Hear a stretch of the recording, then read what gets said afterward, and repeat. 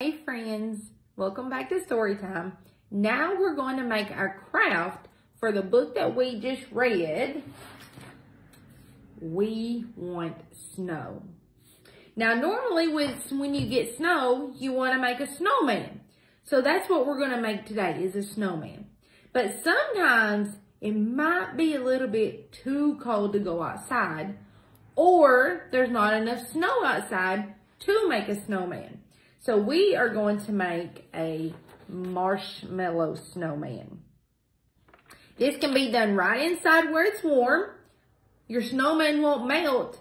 And if you have clean marshmallows or marshmallows that you use at your house, while you're making this snowman out of marshmallows, you can eat some marshmallows, which is the best part.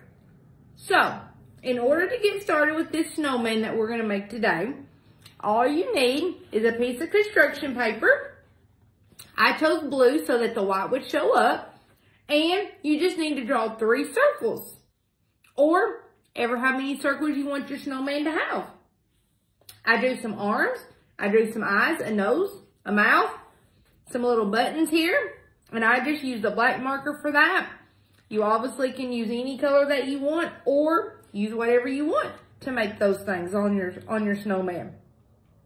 Then you're going to need some glue.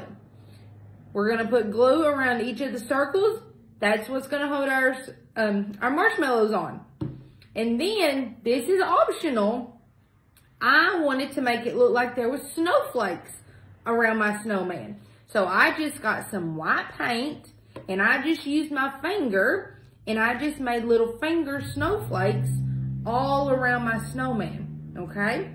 Now, the most important thing that you need to make this snowman is your marshmallows, okay? So I just have a plate of marshmallows here.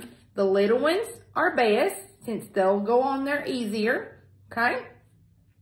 So I've already got my snowman started because it does take a few minutes to do this and I didn't want to keep you all very long.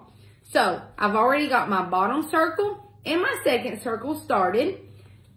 I've already got my fingerprints on there as my snowflakes and I've already got my snowman Drew and I named him Frosty. So I went ahead and just put that up at the top. Now what we're going to do is we're just going to fill in this last circle, okay? His head part. So you're just going to take your glue and you're going to trace all around that circle. You're going to put a good little amount so that your marshmallows have something thick to stick to. Okay? You're just going to go all the way around that circle. Okay? And then it's going to look like this. You're going to have a thick white line of glue there. And then you're just to place your marshmallows all the way around it, okay? Before that glue dries, okay? And after you do this, it's to take just a few minutes for your marshmallows to dry to that glue. So after you get it done, you want to let it sit, okay? For just a couple of minutes.